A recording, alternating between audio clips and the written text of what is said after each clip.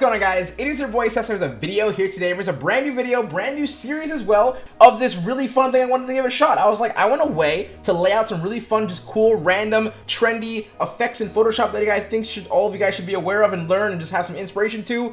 That's what's going on here. That's literally the point and hopefully you guys do enjoy it. I mean, uh, there's nothing else for me to really say, but if you guys do like the episode, please should like like on it so that way I know all that good stuff. And if you guys are new to the videos, if you guys like the video by the end of the video, please sure to subscribe because there'll be more really cool stuff. That's all I got. So uh, yeah, love you guys and see you in a second. All right, guys. So for the first effect, it's actually pretty popular right now. It's actually known as glass morphism. It's a really fun effect to use when you want to add some text or just a fun little detailed element. And it's honestly really, really easy to do. Simply head over to the rounded rectangle tool, whatever shape you would like to use, then click and drag and make the shape whatever length you'd like. Then up top where the settings are, make sure your stroke is off, which is the red slash box if you guys were not aware. Then head to fill toward the left of that and make sure that's on the gradient setting, which is the third box option. Here you want to have your gradient box be black and white to start. However, on the far right top anchor of the gradient, you want to select that and change the opacity to 15%. And just from that, you kind of should already see your box be kind of clear, going from white to black, nice little fade in, and also kind of see the effect come into play a little bit. After all that, you want to make sure you select the bottom far left box and change that color to whatever you would like. So for me, I'm going to change to a nice dark red. However, once you guys are done with that, you want to hide your new gradient layer that you just created, then flatten your image with the shortcut Control, Shift, Alt, and E.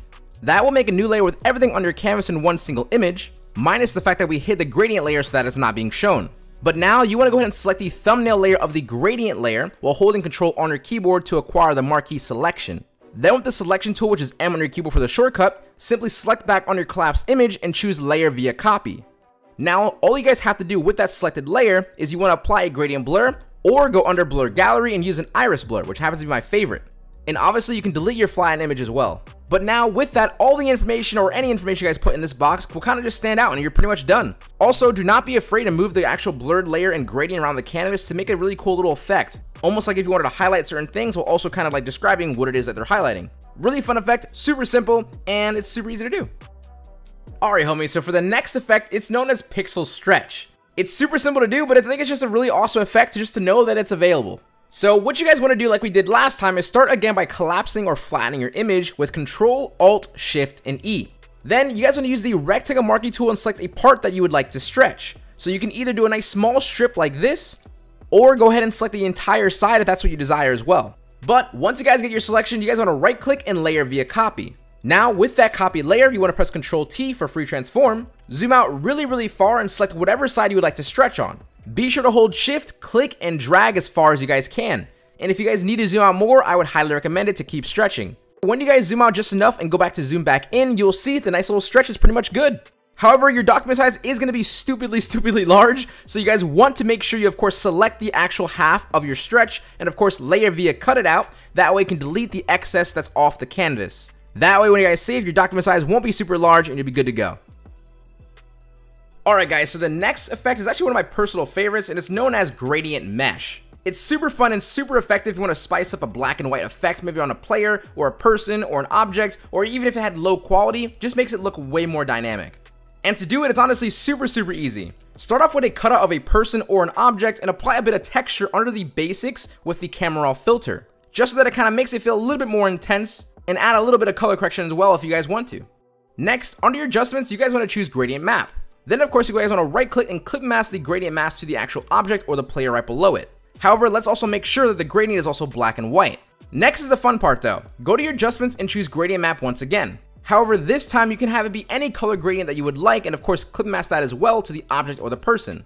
And really quickly, little self plug, if you guys don't have any gradients like I have at all, if you guys want to have some really cool ones, I have a full pack that updates really regularly with $4 and you can, it's be, it can be yours, just saying, sellfy.com slash SOHQ. Anyway, once you guys do have your color gradient, you want to exit out of the gradient editor, then make sure you are selected on the layer mask of the gradient layer, and not selected on the gradient icon to the left of it. Here is when you then want to go to select and choose color range, and this is the final table where the actual effect is finalized. With a fuzziness setting of anywhere between 40 and 150, depending on how much of the effect you want to actually showcase, select the object or the person until you find a look that you really like. Basically, what you guys are selecting are the white and black values of the actual object or the person. So depending on where you actually click, it can give you a different effect. But once you guys find that perfect color selection, press OK, and you're good to go. Just like that, you kind of elevated the idea of just using a black and white photo. Okay, so for this next one, it's known as a diffuse pattern. It's a really awesome combination of effects that you guys can use to make some awesome patterns, backgrounds, or even vectorize them, make some really cool things for projects. And it's pretty easy to set up. So let's just start off with you guys actually having your colors be black and white. You can honestly just select this little icon right here to make it easy for yourself. On a new layer, you want to make this new layer a smart object. That way, all the effects that you guys end up creating and putting on this, you'll be able to see it. Under filter, go to render and then select clouds. Then under filter again, choose noise and add noise. And you wanna make sure you have your noise at 25% and press OK. Now go to Windows and open up your Actions tab. Here is where you can actually record a sequence of effects and steps to repeat really easily with one button. So be sure to choose a new group and name it like pattern or something like that. Then once you guys are done, press the plus button to start recording your new action. And be sure when the option pops up to make your function key F2 to replay the action. Then select record. So for your first step under recording, you want to go to filter, then go to other, and then choose high pass and set this to 6 pixels. Then go to image adjustments and select threshold and set this to 127. Now you guys want to go to filter once again and choose blur and then choose Gaussian blur and set this Gaussian blur to 3 pixels. Now you guys want to go back to your action tab and press stop recording. Now all you guys have to do is press F2 to reapply that same exact action, but you guys want to basically spam it so that way you guys can see the actual pattern start forming. I would say anywhere from four to five, six different times, you'll actually start seeing the pattern really, really clearly. However, you won't be able to get it to be really, really clear unless you guys go to Filter, Sharpen, Unsharp Mask, and use 200, 200% pixels, and then zero threshold. And just like that, you guys have a really dope pattern that you can also re-roll if you guys were to select and unselect the cloud filter from the start. And even if you guys want to even further explore it, back in the second step after you made your black and white cloud and then you guys added noise, you can then add some different kind of distortion features and then rerun the same action once again. And then just like that, you get some really cool different things again. You can then toss that into Illustrator for a vector or run this pattern with a really awesome gradient and just get kind of creative. Alright guys, so for the last effect for this episode, it's known as gradient rings. It's a super fun exploration to like texturize or even modernize a canvas with a really cool color scheme that you can think of. It's super beautiful and it's honestly really, really easy to do. You want to start off with your gradient tool, which is G on your keyboard, and make sure the gradient settings up top, you guys have the second option, which is the circle, chosen. Then inside your gradient editor, it just looks something like this. Select the far left and the far right anchors and make sure these are both set to 0% opacity. Then once you guys have that set, you want to make a middle anchor right on the top as well, However, this should be set to 100%. And to make a new anchor, all you guys have to do is just simply click. Now you guys can actually create any color scheme by adding two different anchors on each side on the bottom to create your ring.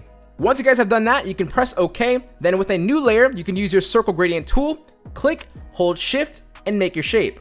Now with your shape, use the circle rectangle marquee tool and to create a really perfect circle, click near the middle of the ring, hold alt and shift, and delete when you find a size that you want to delete at. Then you're pretty much done.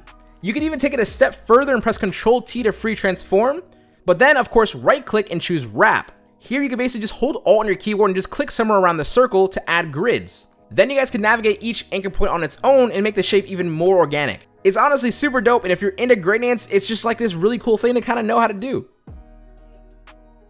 Alright guys, that is the end of the video here today, so hopefully you guys enjoyed it, you had a little bit of fun, and of course if you liked the video, please leave a like on the video if you guys like the series, or maybe the start of a new series, but also if you guys have any cool effects or whatever you want to see me kind of like show you guys, or be like, you don't even know how to start that, that, that thing, let me try it, you guys send it to me, and I'll try to put it in the next episode or something like that. So, with that being said, I love you guys so very much, Seso HQ out, you're to keep smiling, stay positive, and stay freaking productive guys, love you so very much, and uh, enjoy your weekend. Peace.